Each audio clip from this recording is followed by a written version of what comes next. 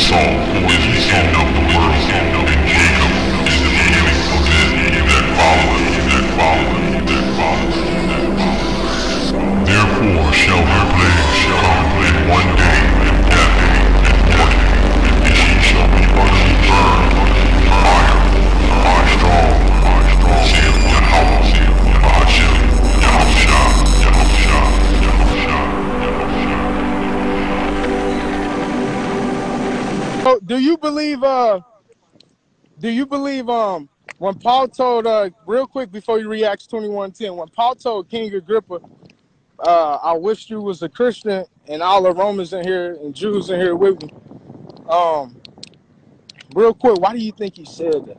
Was he uh was he trying not to lie and get out of a tough situation? Did he say? Trying not to die?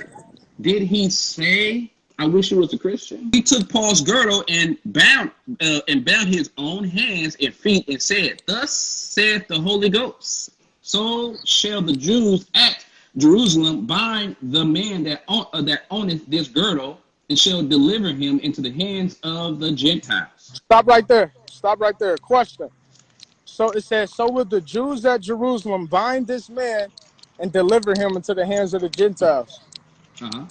Can you demonstrate book, chapter, and verse when Paul was delivered into the hands of Gentile Israelites under Gentile Roman, under, Israelites? Ro- under, under, yeah, yeah, yeah, under Roman authority? Okay, hold on. Book, Hold chapter, real and quick. verse. Let me see that. Somebody can pay to play that one music.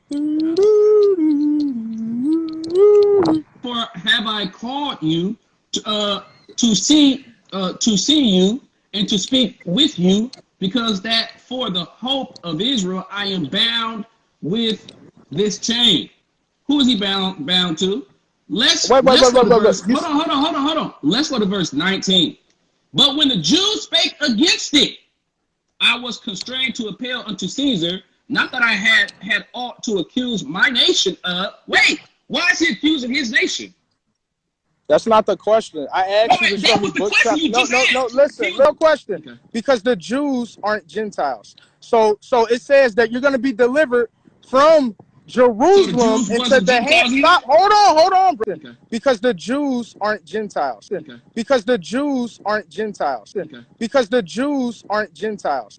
Because the Jews aren't Gentiles. Listen, real question. Because the Jews aren't Gentiles. Wait, that was the question you No, no, no. Listen, real question. Because the Jews aren't Gentiles. In Acts chapter 21, prophesied to Paul that he was going to get delivered from Jerusalem into the hands of the Gentiles. What Uh-huh. you just read substantiated that those Gentiles from Jerusalem, who he was delivered to, was Romans. Not, uh, not, not to mention in Acts chapter uh, uh, 26 or 25, Felix had him in bonds from Jerusalem because that's exactly what happened to Paul. Right from through, you got to go pull Acts chapter 26 to get the account. Nor confounded world. Look at what the word world is for. Strong's H fifty seven sixty nine. Olam. Olam. What is it? Strong's H fifty seven sixty nine. So, uh oh. So, again, Isaiah 45 and 17. We have long duration, everlasting, evermore, perpetual, old, covenant, world, s- dealing with uh, time, duration. This has nothing to do with world.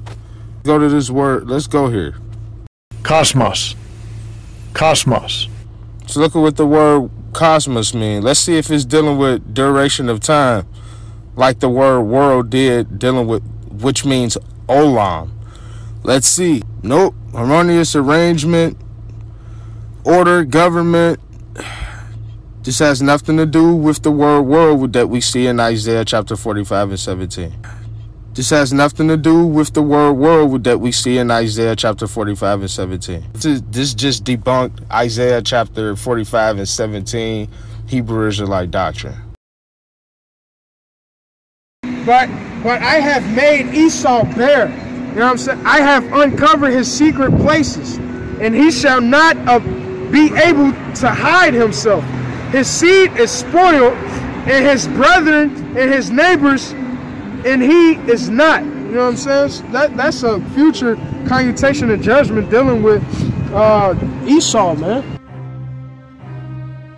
The devil, man, the most I ain't dealing with. The devil, man, the most I ain't dealing with. The devil, man, the most I ain't dealing with. The devil, man, the most I ain't dealing with. The devil, man, the most I ain't dealing with. I want to give all the praises and the honor to Yahweh, Bahashem, Yahweh Shah, Bahashem, Ruach HaKodesh, and double honors to the elder apostles and the elder bishops of Great Millstone. Also, sincere shalom to the elect.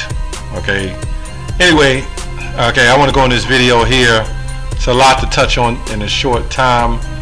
Uh, I may jump around a little bit, uh, but uh, it's like a two-part video that I just want to kind of bring in together because I wanted to show the hypocrisy of how one minute uh, he's done a debate with Wi-Fi Adam Abbott, which Adam Abbott, Adam Abbott, that crew pretty much destroyed him because it's our doctrine that we a lot of it is what we follow, and um, he went on to say that um, going into the uh, the strangers, that the strangers were all the time pretty much would have been heathens. He also goes on to say that the Gentiles are non-Israelites and the strangers are non-Israelites. But somehow, and this is where I wanted to trip them up on, um, on hypocrisy, that he says basically in the New Testament when it talks about the Gentiles, the majority of the time is talking about other nations. But somehow in this word world in Isaiah 45 and 17 is not the same world in John 3:16. And he claims he debunked it. So before I get into the Agrippa that he likes to pull over and over again, which we've dabbled in this, and it's good for tune-up. This is light work. but this guy named here Shabar for Truth. These guys come in, they don't teach nowhere. They come on the internet, use the platform to try to debunk the Israelites, but they have no prophecy. And these guys are nothing but Christian Israelites. That's all they are. Shave the beard and put on the tux, man. And go back to church on Sunday. That's what you should be doing. I can't understand how you want to be a leader of the new world that's coming into play and you don't want to lead. You don't want to be a ruler. This is not what the Most High is talking about. This is not what he sent his son for. He said, uh, what did Yahweh say? Sit on my right hand till I make my enemies my footstool. Right? They're trying to soften the blow, man. And it's not going to work. okay? So, let's go to this Isaiah 45 and 17 when it says, But Israel shall be saved in the Lord with everlasting salvation. Ye shall not be ashamed nor confounded, world without end. Now, it's it's also amazing how they go into the blue letter, like we go into the blue letter, and try to come up and concoct a new doctrine.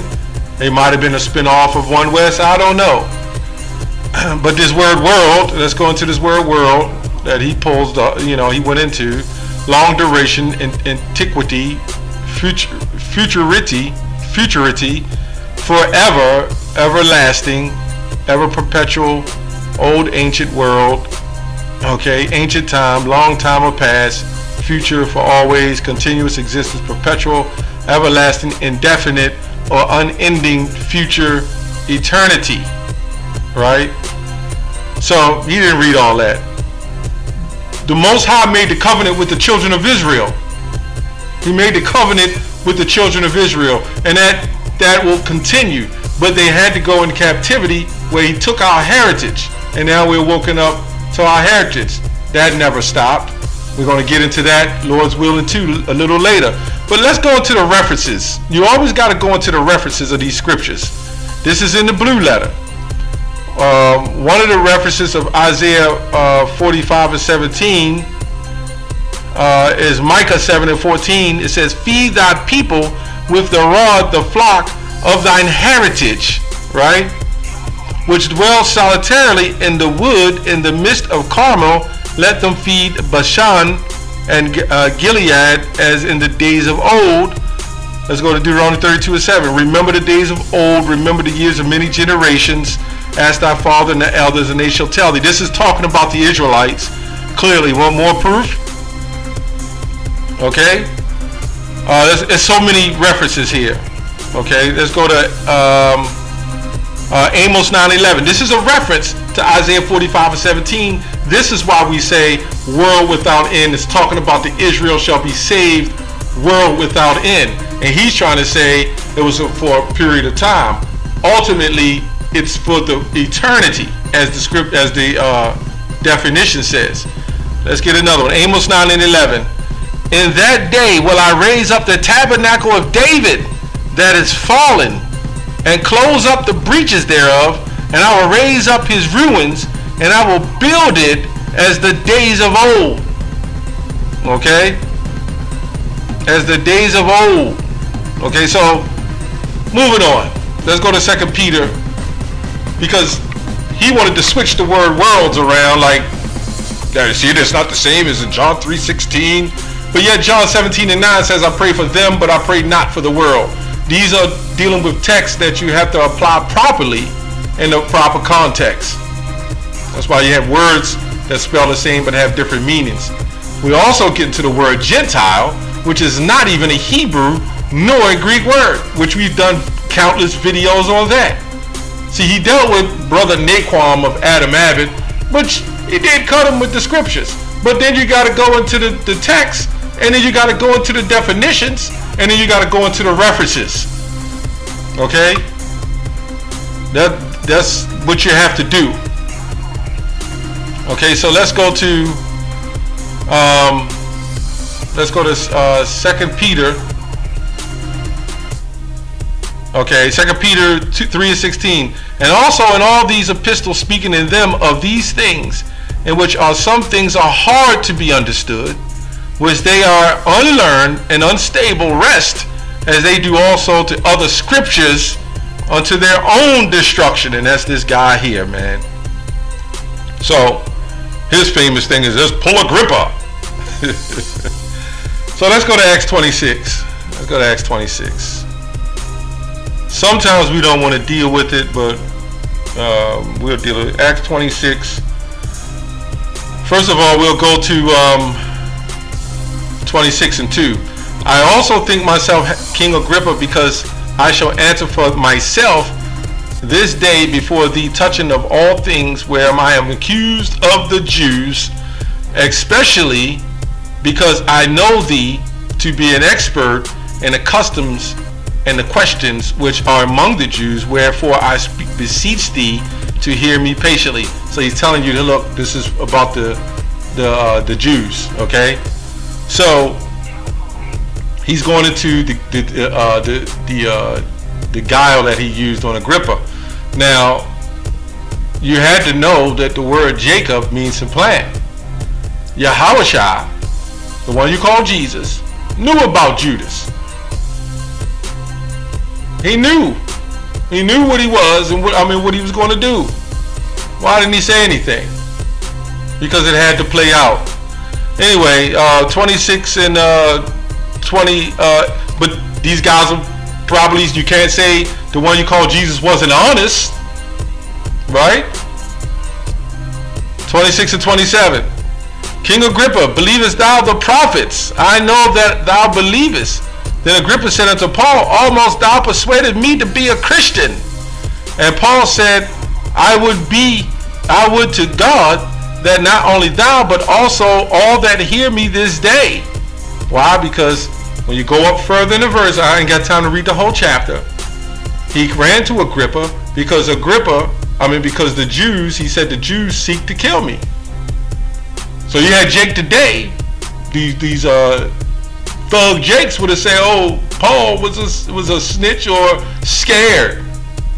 When there was accounts of men of the Lord that ran in certain situations, because it was all of the Lord's show. These this was the Spirit. Anyway, um, that not only thou but also all that hear me this day were with both almost and altogether such as am expert in these bonds. So this is why you got your Jake today with the Black Lives Matter, so to speak, which is all BS, but getting shot or killed.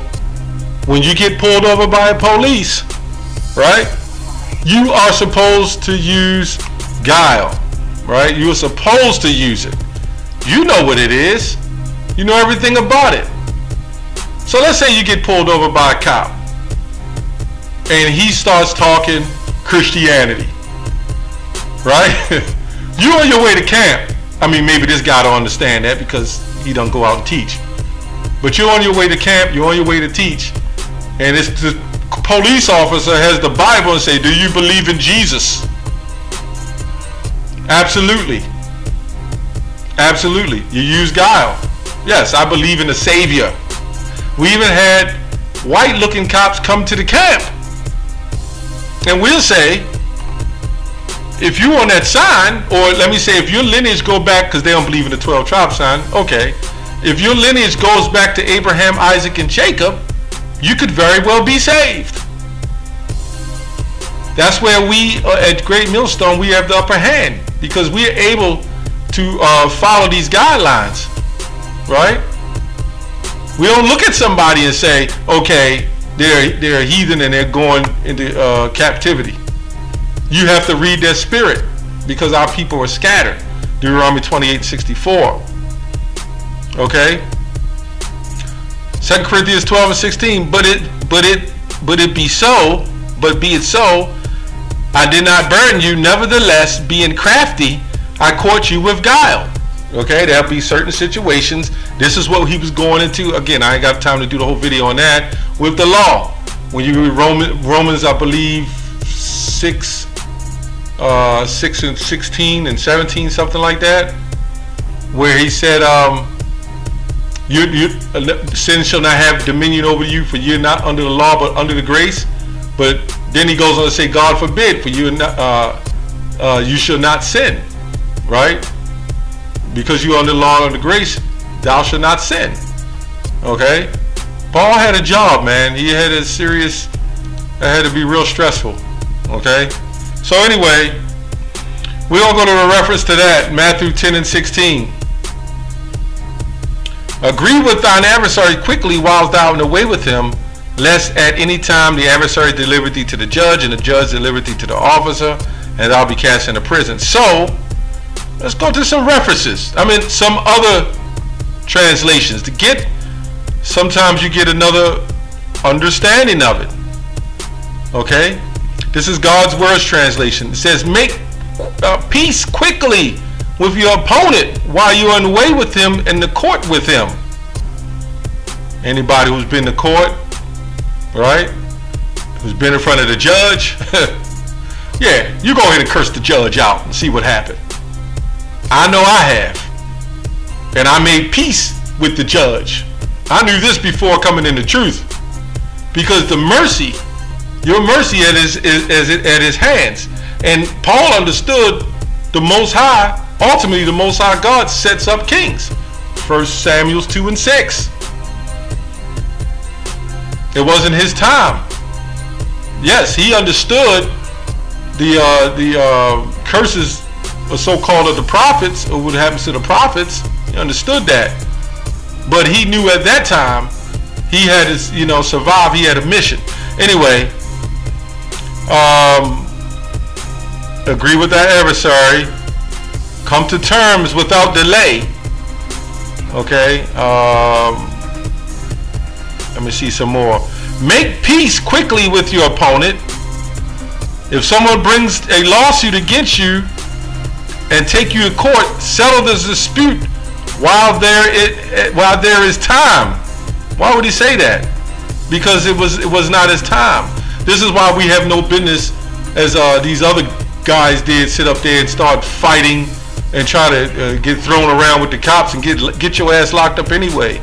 It's a non-win non-win situation. Okay. It says um, reach a settlement quickly. Before you are, this is contemporary English, before you are dragged into court, make friends with the person who has accused you of wrongdoing. Right?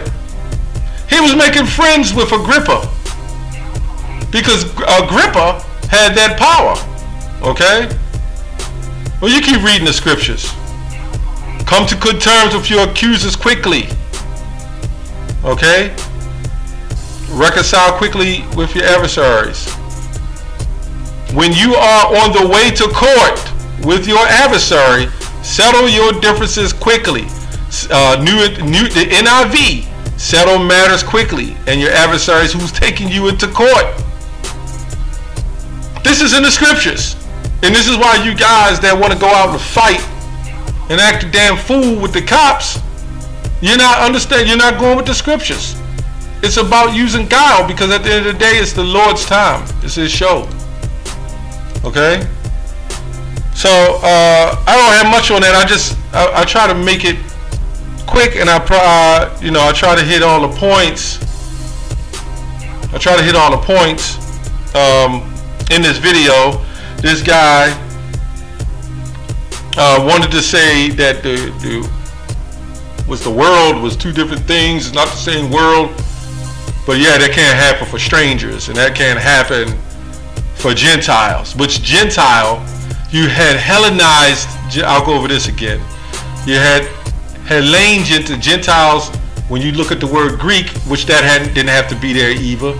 You got to go back to the Septuagint or uh, the the Vulgate when you look at the word Greek, that word is Hellene. That word Hellene means uh, all nations not Jews, right? But when you go into deep into the references of, uh, of, of uh, Matthew 7:14, we say, "Go, whether should we go teach the Gentiles?" That was talking about Israelites who didn't want to consider themselves Jews. And then you had Hellen, Hellenized Jews, or Hellenist, Hellenist is what you would call the Grecians. So you had Greeks and you had Grecians. The Grecians were ones who knew they was Jews. This is where when you go to Acts 6 and 1, this is when you go to Acts 2 and 5 when they talk about Jews, devout men out of every nation under the earth. Those were Israelite Jews who knew they was Israelites. Let's go to Romans 9 and 1. I say the truth in Christ, I lie not.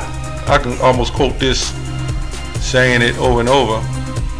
That I have great and continue and heavy and continuous sorrow in my heart for I could wish that myself with a curse from Christ for my brethren, my kinsmen according to the flesh. Now he's writing this, these are these are the epistles, but Agrippa wouldn't have a problem with this. Because Agrippa was like, hey, I'm in power. Hey, he's speaking out to his people. Right?